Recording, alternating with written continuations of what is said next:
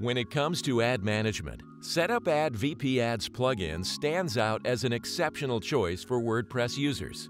Whether you're just starting out in website monetization or you're an experienced content creator, this plugin offers a comprehensive solution. It's your go-to tool for seamlessly inserting, optimizing, and managing various ad types, including Google AdSense and Google Ad Manager ads, all through intuitive code snippets. Let's delve into the core functionality of Setupad WP Ads, Ad Unit Insertion. In this tutorial, we will guide you step by step on how to create standard banners, double banners, and how to effortlessly insert images or direct ads into your content. We'll kick things off by creating a standard sidebar ad unit. In the My Ads section, simply click on Create Ad Placement. Next, name your ad, select the ad type, paste your ad code, specify the pages and where the ad will appear, choose the device, and fine-tune the alignment of your ad placement. Note there are already three built-in alignment options, left, centered, and right. If you choose the custom alignment option, you must manually write your own CSS code to align ad placement. In the advanced settings, you can enable lazy loading and exclude, blacklist, or include, whitelist, URLs where you want and don't want the ad placement to be inserted. Once you've set everything up, click Save Ad Unit and you'll find all your created ads neatly organized in the My Ads section. Let's take a look at how it appears once it's live.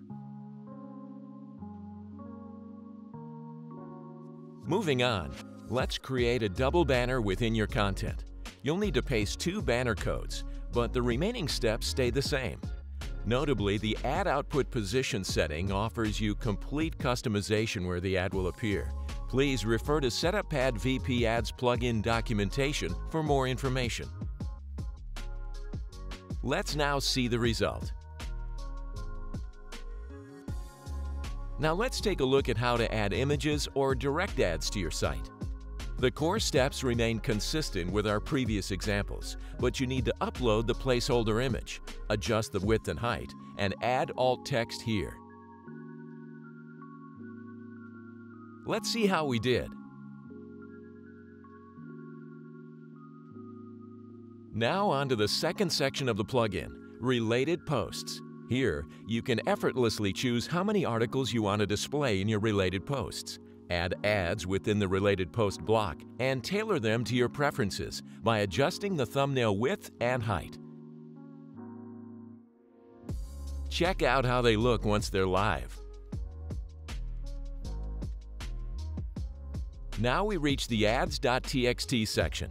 If you're already monetizing your website, you understand the importance of ads.txt. With Setupad WP Ads, you can easily paste your ads.txt lines in the designated field and save them. Add or remove the necessary lines at any time, and they'll go live with a simple click on the Save button. Please note that the feature to add or edit your ads.txt lines within Setupad WP Ads will only work if you haven't already manually added an ads.txt file to your website. If you already have an ads.txt file on your site, but wish to use Setupad WP Ads to manage it, be sure to remove the existing file from your site beforehand. Finally, in the last section of the plugin, you can add header and footer tags effortlessly. Just paste the code in the designated header or footer section and hit Save Settings. These tags will become active on your page immediately. Another thing we would like to highlight is the documentation section. This is where you can effortlessly find comprehensive explanations for each plugin section.